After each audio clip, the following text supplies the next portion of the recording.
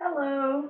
Uh, the 2015 hair show hair for the show Jackpot is what we're about to be doing today. And the first few things that you're going to need is hairspray, a comb, and little elastic bands. Now you can get these in clear, uh, in black, or in multicolored. If you have lighter toned hair color, use the clear ones. If you have darker toned hair color, use the black ones. Or the clear ones, if you can find the black ones. Um, just personal preference. You're also going to need bobby pins and possibly hair ties, depending on what you want to do, and your hair showpiece. So, first off, you're going to need to start with curled hair. Now, personally, um, I curled my mom's hair using hot curlers. Yes, old fashioned, I know. Um, you don't want to use a really small barrel because that'll make the hair uh, curl really tightly and it doesn't look as nice. Uh, or a really large barrel, like anything bigger than an inch, because um, the curls won't be tight enough to actually hold and it'll just look more like a wave than a curl. So, um, you can curl the rest of your hair however you really want it. It doesn't really matter. There's no rhyme or reason the direction you curl it. But the part that you do need to curl a specific way is the top bang part. And um, you'll want to take it and curl it over on itself. So, so it's curling upwards. Oh, this is my mom, by the way. So let's take out this last little curl. Curler.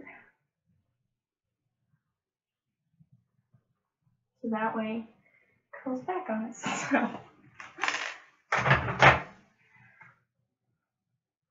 That will help you with your bump. Found a random bobby pin in here.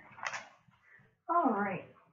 So the first thing you're going to want to do is start off with your bump. You're going to take the very crown of your head and you're going to take it about uh, the arches of your eyebrows up and back to about halfway through your head. Because you don't want to take it back too far because your headband does sit there. So once you get that section off, you're going to want to pull that forward. Like to do is I just like to secure the rest of the hair so that doesn't get mixed up. You can do with this with clips or hair ties, it doesn't really matter, whatever you want to do. Just make sure you don't get this hair with this hair. Alright.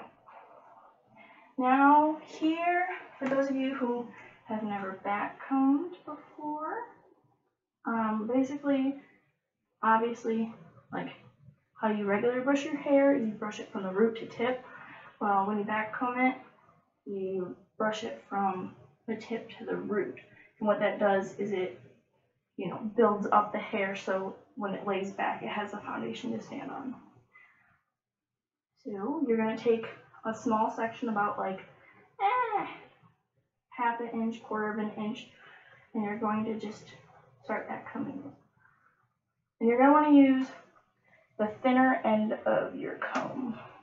Or they have um, specific combs made for your back comb. Or teasing, however you call it, whatever you call it. You're want to make sure you start at the base of your head and slowly work up. And then tease the other side the same way. Uncap hairspray.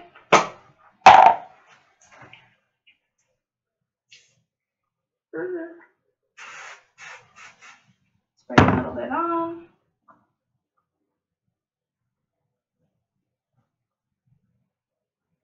And just pull that. Take another little section.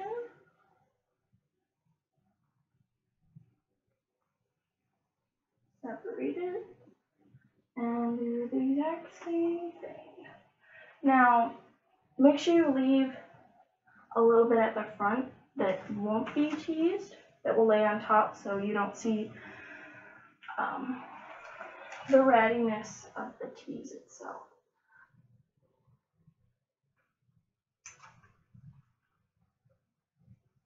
Now, personally, I think this is easier to do on myself than it is on other people, but it's everybody's preferences.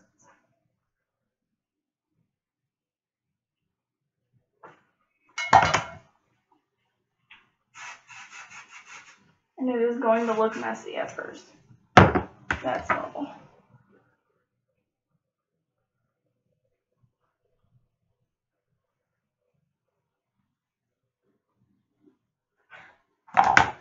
Alright. Now, once you get to the last section, you're gonna have, you're just gonna wanna tease the back just a little bit.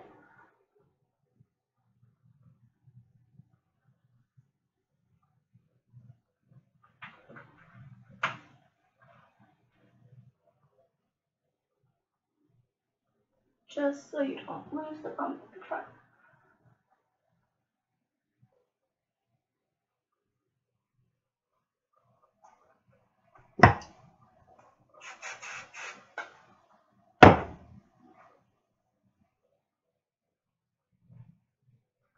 Alright.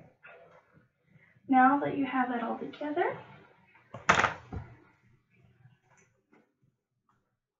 gonna want to smooth out the top just a little bit and just lightly run your comb over the top. If you press your comb in too far, then it will take out the tease that you just made. And it'll all be for waste.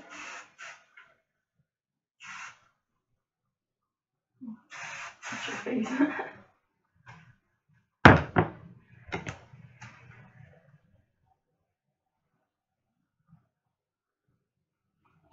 Hairspray, hairspray smells really good. Candy Dog.